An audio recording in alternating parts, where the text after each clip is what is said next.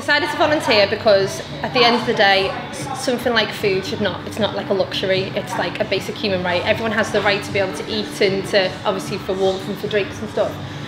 So for the government to vote against the fact for children to be, have access to meals during half term is just really, it's like really poor. I'm a mum myself, I've got two young children. The thought of them not being able to have food breaks my heart.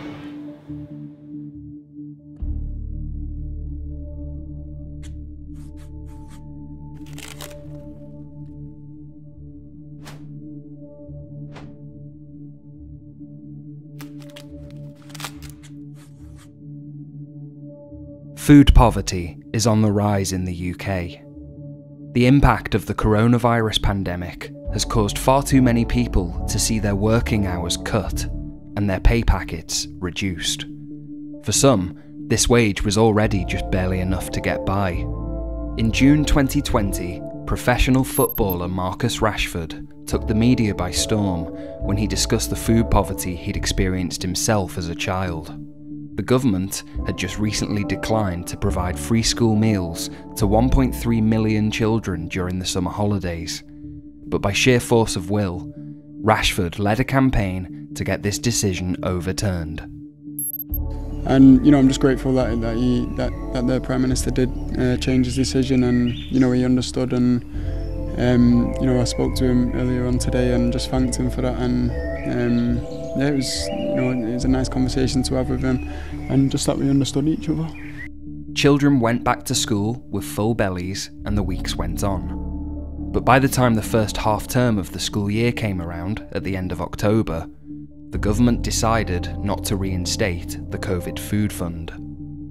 The way to deal with it, we think, is by increasing uh, the, the funds available for universal credit. We put up by about a thousand a year, but also to put more into local councils. We don't want to see children going hungry this winter, this Christmas. Uh, certainly not as a result of any inattention by this government, and you're not going to see that.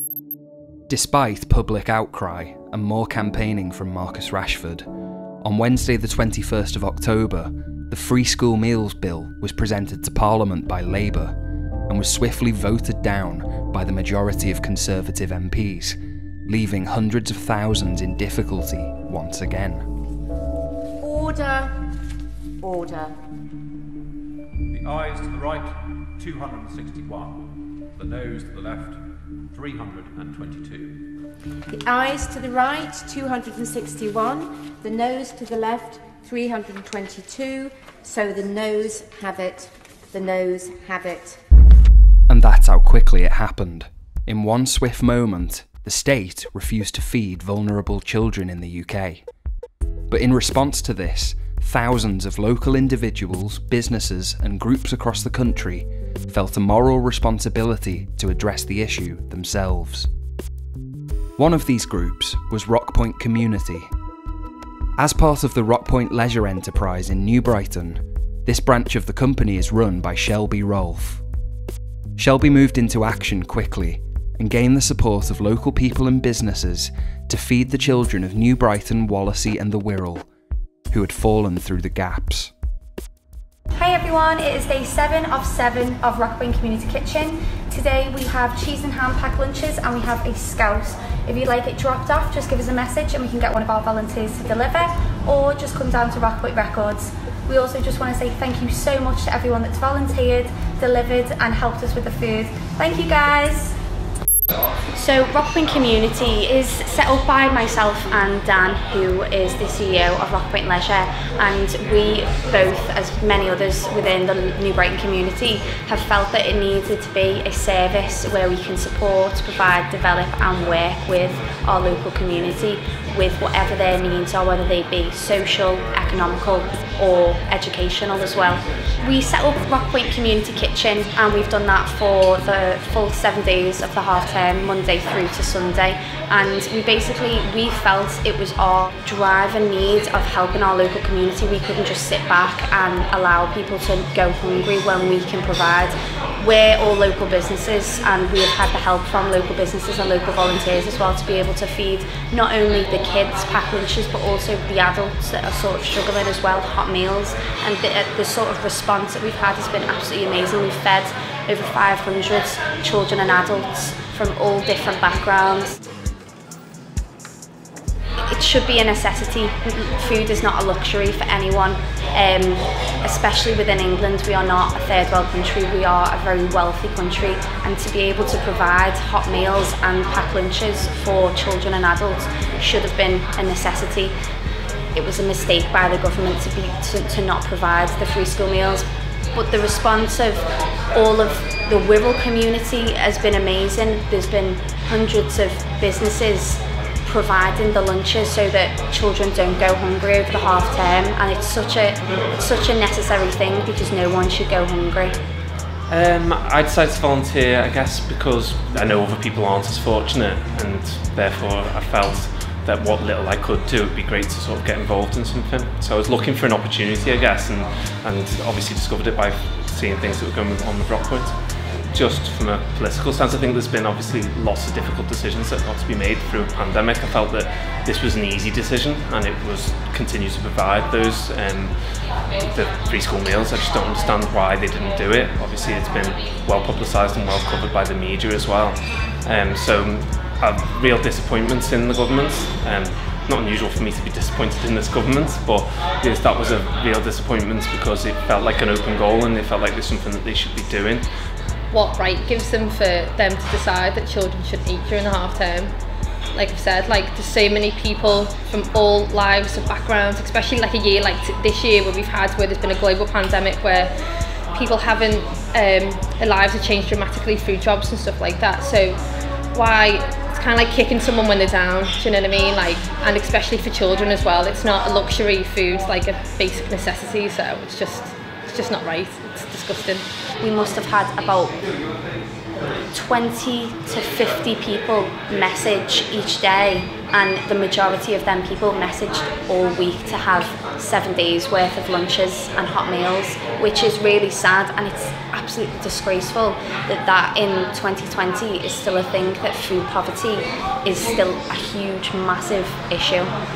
We've had a, we've had a few men and the men have said to me I'm so ashamed of messaging you because I should I should really be able to provide for my family. But sometimes it's completely out of people's hands and if they've been furloughed or if they've been let go from their job it is completely out of their hands and they as a man feel like they need to provide for their family and their children and they're not being able to because there is not that support system in place for them so which is why we at Rockpoint Community felt it was such a need and so important for us to be able to provide that and help them people in need.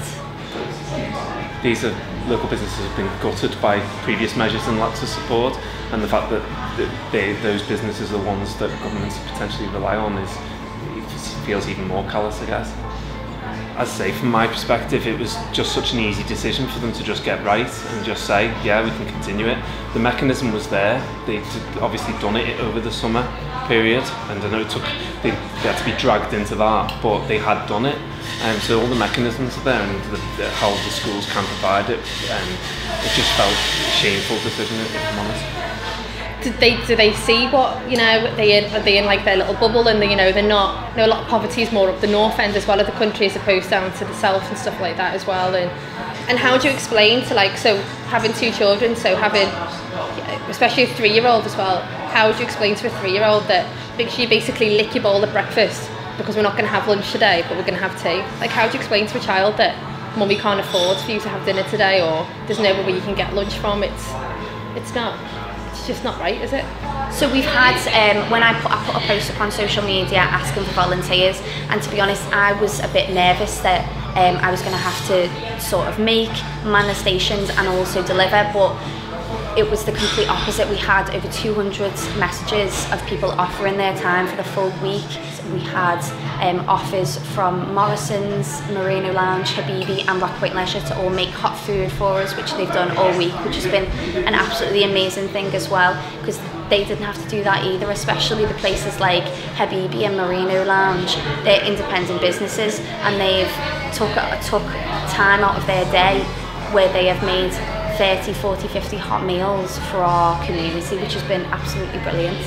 I just want to say, it couldn't have been done without the sort of help through donations, through our volunteers, through our local businesses, and it, it was so sort of heartwarming and amazing to see everyone pull together. Um, and it's the reason why I took the job at Rockpoint Community and the reason why I'm trying to push this forward is that it's it's so amazing when communities can come together and make a difference and as I said we've been able to provide uh, 556 meals hot meals and packed lunches for our local community so it's everyone should be so proud of themselves and everyone should be amazed at the fact that it, this was just sort of a little thing that we were going to do on Friday we've just decided to do it and I think it was the community and our volunteers and everyone that's donated either food, money, donated their time. It's, it, we couldn't have done it without them.